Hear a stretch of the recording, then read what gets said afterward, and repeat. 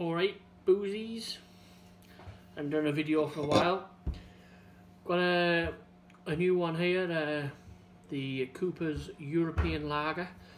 I've never had it before, so I'm going to have that one. Uh, it's 5%. Uh, did it with uh, the the beer kit enhancer.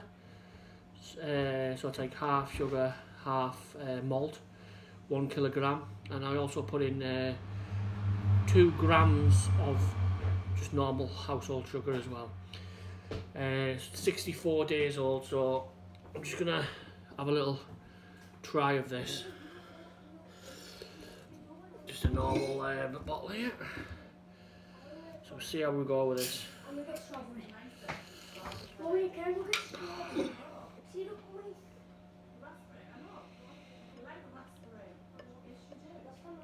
It's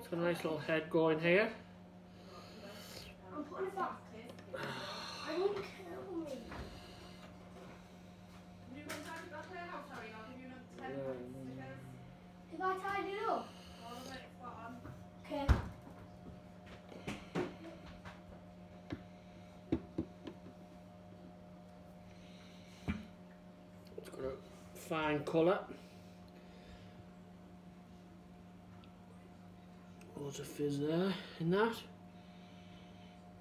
Smells good. So we'll have a go, a little go of this. Cheers.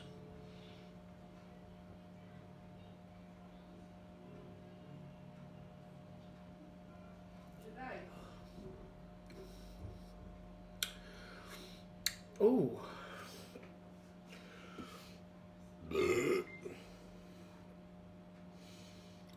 It's uh, nice fizz to it. It's uh, I'm trying to think what it tastes like. Uh,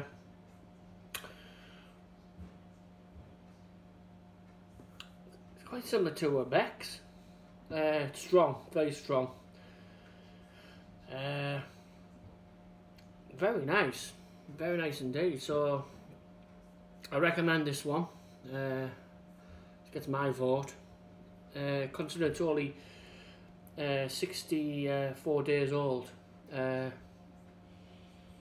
that's worth drinking now. Uh,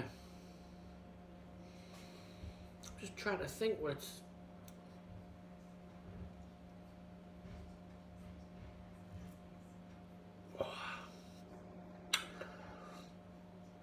Oh, I like that.